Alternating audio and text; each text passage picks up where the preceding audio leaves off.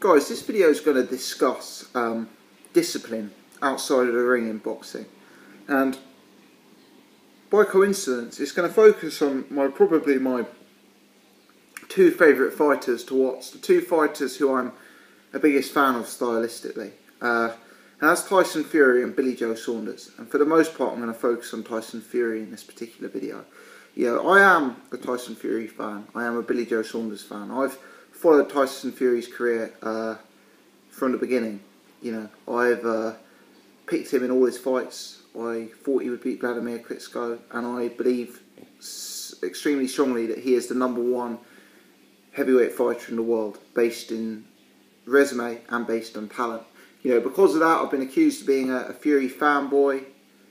Um, I've been accused of being very biased, but you know, maybe this video will surprise a few people because I want to express a substantial concern about Tyson Fury and about his longevity in boxing, actually.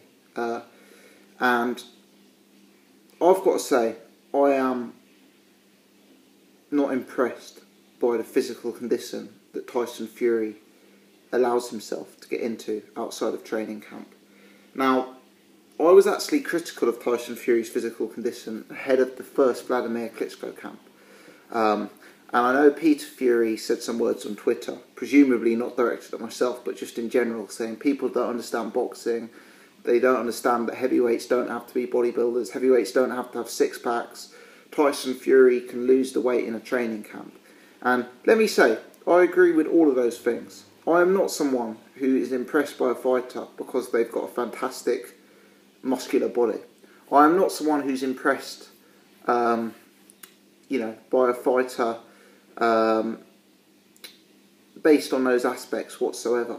And I do firmly believe that Tyson Fury, at his age, with his athletic talent, will be able to lose the weight he seemingly put on ahead of a fight between Wladimir uh, before the second Wladimir Klitschko fight, and I do believe by the time he turns up for that fight, he'll be fit and ready to go. But I really have strong concerns that this is a continued pattern here. I mean, Tyson Fury's been an inactive heavyweight, you know, with the David Haye pullouts, the Derek Chisora pullout, the Wladimir Klitschko first fight cancelled. Tyson Fury has been an inactive fighter, and time and time again we've seen him blow up in weight. And I'm not talking blow up a little bit, I'm talking blow up substantially. I'm talking you know, several stone. I'm talking American money, I'm talking £30, £40, £50 between fights. Um, you know, we've seen him turn up to the ring before when he fought Joey Abell in poor physical condition. Uh, we've seen him well over 20 stone between training camps. And whilst I'm not concerned that Fury doesn't have a six pack, and whilst I totally believe he can lose the weight before a Wladimir Klitschko fight, I firmly believe that whilst he's out living the life, other fighters are living the warrior's lifestyle.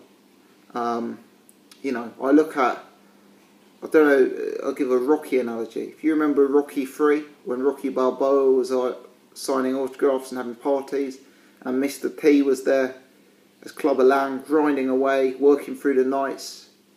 You know, um, Fury's uniquely talented, but at some point, the talent won't be enough. And whilst he's a very young guy, Fury it surprises people how young Fury is, uh, and he's still getting away with it at this stage. If he keeps ballooning up in between fights, and if he keeps, I don't know whether he's drinking alcohol, whether he's eating fast food, I don't know what he's doing, but if he keeps, you know, living the life outside of the ring, so we say, over the course of years and years and years, this is going to catch up with him. I mean, we've seen it before in boxing, this is not a new phenomenon, but at one point when Fury's in the 10th, 11th round of a uh, 10th or 11th round of a, a hard fought all action heavyweight contest. And he's up against someone who uh, has lived the life every day of the year. He's up against someone who's been out running and training on Christmas Day, on New Year's Eve. Um, I have concerns that that lifestyle outside of the ring is going to catch up with him. Um, and you know Tyson Fury, if you look at him, look at the way he beat Wladimir Klitschko. Speed, foot speed, reflexes, head movement. Um, you know, it only takes one of those to dip slightly. It only takes a little bit of fatigue to set him for one of those to dip, and suddenly the uh, elite defensive performance turns you into a hittable fighter. And I've just got concerns that Wladimir Klitschko's being overlooked slightly. And, you know, we talk about Fury will beat him more convincingly the second time round. Fury's got home advantage this time round. Fury's coming in with the confidence knowing he can be world champion. And that's all true. But people are writing Wladimir Klitschko off too soon. You know, for me, Wladimir didn't get old overnight. That Wladimir was still handling likes of Bryant Jennings, Kubrat Pulev with some room, you know, relatively recently. He didn't get old overnight. What he struggled to deal with was the awkward style, movement, and speed of Tyson Fury. Um, but Wladimir is a guy who is taking this rematch for the right reasons. You know, Wladimir doesn't need extra celebrity from this rematch. Wladimir doesn't need the finance from this rematch. I firmly believe Wladimir is taking this fight because he wants to win it and he believes he can win it. And if you look back at that fight, you know, bearing in mind that Wladimir doesn't need the payday, bearing in mind he's coming here to win, he's got to think that he's got to do something differently to get the win, especially on Tyson's home soil. And he's going to look at the fight, he's going to look at where he was most effective, and I think he's going to engage more. I think he's going to throw caution to the wind and throw more level. And for me, Wladimir Klitschko is still definitely the number two heavyweight in the world. And at this stage, Wladimir is a more proven puncher than any other heavyweight and a more proven technician than any other heavyweight, bar Tyson Fury. You know, Wladimir Klitschko is the, still the most dangerous heavy, heavyweight fight in the world. And the guy is coming to win, the guy is coming to make changes, and the guy is going to throw more aggressively. And for Tyson Fury to win this fight, his reflexes, his speed, his movement is going to have to be on point to at least the same extent as it was last time. And when I see him bloated with a double chin, carrying a belly round with him, my concern isn't that Tyson Fury doesn't have a six pack. My concern isn't that Tyson Fury won't weigh in at the weight he normally weighs in. My concern is that if this turns into a really, really tough fight, will that excess outside of the ring hit him in the last two rounds? You know, because Wladimir Klitschko is a guy who you know is training every day of the year, living the Spartan lifestyle every day of the year. And uh, I have concerns. And Tyson Fury is very, very talented, and he's still young, and he's probably getting away with it, and he, he may continue to get away with it. But fundamentally, he's been an active fighter now for several years. He's blown up between fights on multiple occasions, substantially, forty pounds you know, 30, between 30 and 50 pounds. He can't be doing that into his 30s. Not for my money. Not for my money. Not in this era of heavyweights. Um, you know, you look at someone like Anthony Joshua, and I don't think Anthony Joshua's got the same talent as Tyson Fury. But Anthony Joshua is a very, very dangerous fighter. You don't see him blowing up 40 pounds between fights, you know. And I'm not someone who's taken in by Anthony Joshua's build and bodybuilder physique, you know.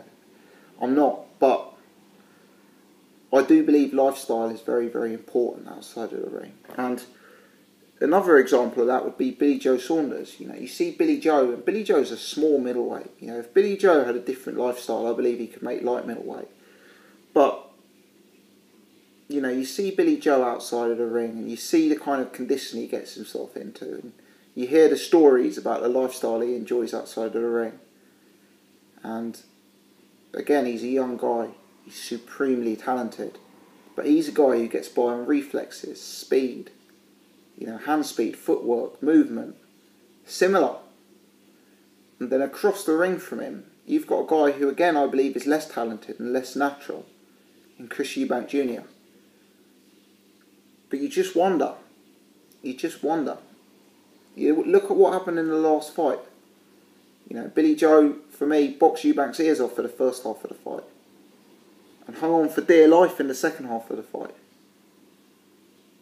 And for me, that was a case of his conditioning not being in the right place to fight a truly fought 12 round fight.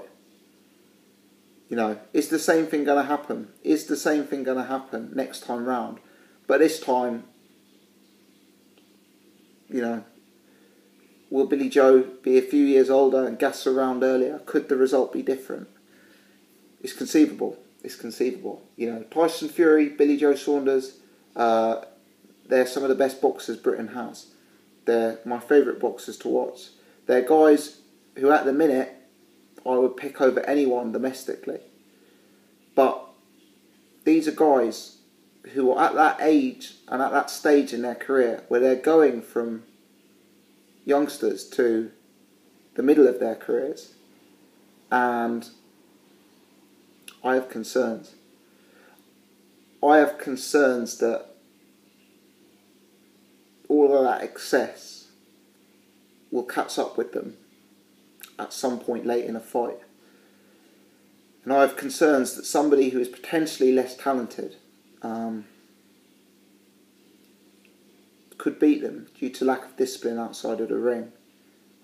And fundamentally, whether Tyson Fury can lose the weight, whether Tyson Fury can turn up in great shape, by the by.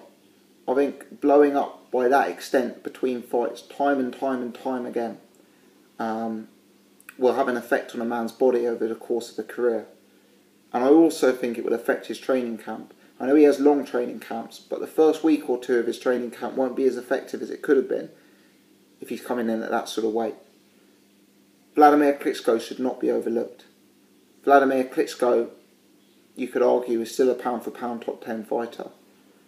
Um, you know, Wladimir Klitschko is. Uh, for me, the most dangerous test in heavyweight boxing, still. And he's been overlooked. I'm not saying he's been overlooked by Tyson Fury, but he's been overlooked by a majority of the fans. People say he's past it, people say he's faded, people say he's gone. But I'm impressed that Wladimir's taking this rematch. When you've got as much money as Wladimir has, when you've got as much going on outside the ring as Wladimir has, the fact he's taking this fight shows me he still has the hunger of a champion, the will to win, the desire to win. I don't believe Wladimir is coming for the rematch to do what he did again in the first fight. I believe he's going to try and turn it up a notch. And Tyson Fury may well get away with it again because he is supremely talented and he is still young. But this is by no means a foregone conclusion. And this fight could be a lot more dangerous for Tyson Fury than the first fight. One, because Klitschko's already had 12 rounds and therefore knows what to expect. And two, because Klitschko's coming to roll the dice. Um, so I've got concerns ahead of the Klitschko fight, seeing the physical condition Fury looks to be in. And as a Tyson Fury fan, who's um, you know been high on him since the beginning, I just wonder about the longevity of his career with this weight, weight gain seeming to be a routine between fights. Let me know your thoughts. If you've enjoyed this video, do hit the thumbs up button. I'm interested to hear your comments. Am I looking too much into it? I might be. Um, do you agree with me? You know. Many thanks for watching.